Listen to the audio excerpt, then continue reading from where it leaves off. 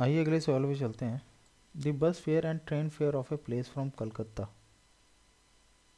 where rupees twenty and rupees thirty respectively train fare has been increase by twenty percent and the bus fare has been increase by ten percent the ratio of new train fare to new bus fare is eleven is to eighteen eighteen is to eleven five is to three three is to five question को समझ लेते हैं पहले।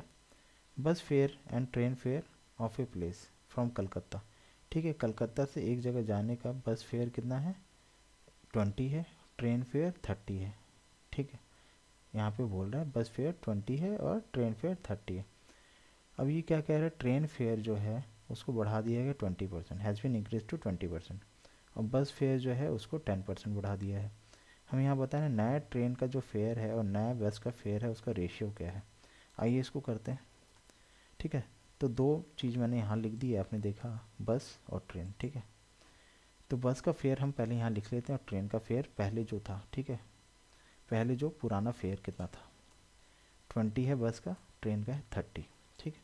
यहाँ पे बोल रहे हैं ट्वेंटी रुपीज़ बस का है और ट्रेन का तीस रुपये एक जगह तक जाने का कलकत्ता से। अभी क्या बोल रहे हैं? ट्रेन का फेयर इंक्रीज़ हुआ है ट्वेंटी परसेंट ठीक है? तो यहाँ पे हम पहले लिख लेते हैं, बस का फेयर कितना इंक्रीज़ हुआ है। तो यहाँ पे देखिए, बस का फेयर इंक्रीज़ हुआ है टेन परसेंट ठीक है, यहाँ पे देखिए, बस का फेयर है टेन परसेंट इंक्रीज़ हुआ है। तो पहले था twenty rupees ten percent increase हुआ है। ट्रेन का कितना है? ट्वेंटी परसेंट इंक्रीज़ हुआ है। ठीक है तो आपको यहाँ देखना है, पहले यहाँ पे देखिए, बस का डेटा दिया है, फिर ट्रेन का यहाँ पे इंक्रीज़ बताया तो इसका ध्यान देना है आपको कि क्या चीज़ बढ़ रही है।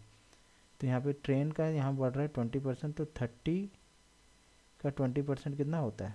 सिक्स। ठीक है? तो ट्रेन का छः रुपये बढ़ गया। तीस रुपये था, अब छः रुपये हो गया। और बस का कितना बढ़ा है? टेन परसेंट बढ़ा है तो पहले ट्वेंटी था।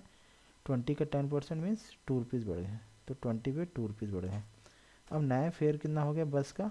बस पहले बीस था, दो रुपये बढ़ गया। कितना हुआ? ट्वेंटी प्लस टू ये वाला टू जुड़ गया तो ट्वेंटी टू उसी तरीके से ट्रेन का फेयर कितना हो गया? थर्टी था पहले, उसमें छः रुपये और जुड़ गया। ट्वेंटी परसेंट इंक्रीज़ हुआ मीन्स छः रुपये इंक्रीज़ हुआ। तो थर्टी का छः बढ़ा तो थर्टी सिक्स। ठीक है, thirty plus six thirty six. अब यहाँ पे हमारे पास ये सब तो जो दोनों आए हैं, नया ट्रेन फेयर आ गया और ये नया बस फेयर है। हमें यही तो रेशियो बताना है। पहले हम देखेंगे किसका रेशियो बताना है।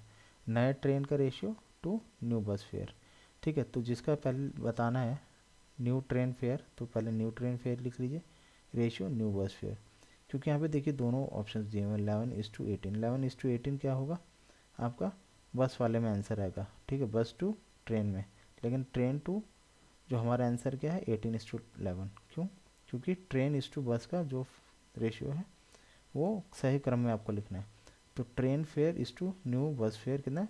थर्टी सिक्स ट्रेन का फेयर इसी को करस्पॉन्ड करके लिखिए। और बस का फेयर ट्वेंटी टू, इसके साथ, ठीक है, एक जैसा लिखिए, ताकि आपका कहीं आंसर गलत ना हो जाए, क्योंकि दोनों टाइप के आंसर दिए हैं। इसको फर्दर टू से डिवाइड कर लेंगे आप तो कितना हो जाएगा? थर्टी सिक्स को टू से डिवाइड करेंगे तो एटीन और ट्वेंटी टू को टू से डिवाइड करेंगे तो इलेवन तो एटीन इस टू इलेवन आपका ऑप्शन बी ठीक है?